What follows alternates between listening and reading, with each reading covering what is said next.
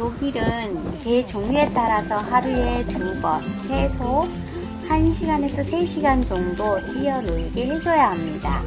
가끔은 좀 고단해요. 그래도 덕분에 건강 챙겨집니다.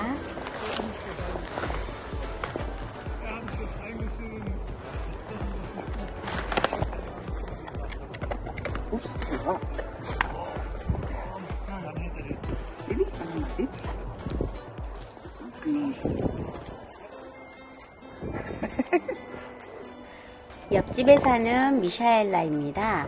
그녀는 훌륭한 개 조련사이고요. 저와 릴리를 많이 도와주는 친절한 사람이에요. 참 따뜻한 사람.